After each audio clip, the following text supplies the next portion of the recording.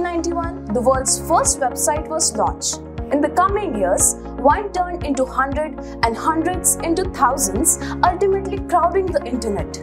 Necessity is the mother of invention. So this was the time to structure and make the information on the internet easy accessible, which led to the birth of search engines.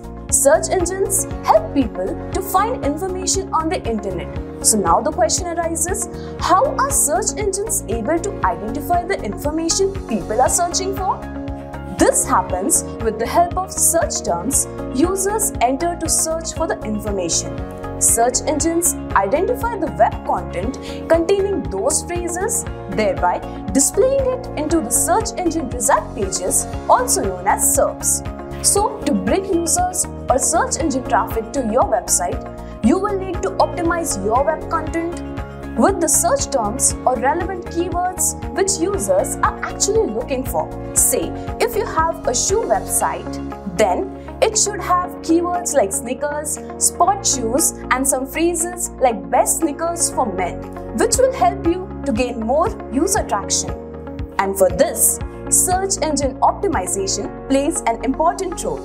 So, the process of getting good quality and quantity of traffic on your website or a web page through search engines is called search engine optimization or SEO in short. Search engine optimization practices involve on-page SEO, off-page SEO, and technical SEO.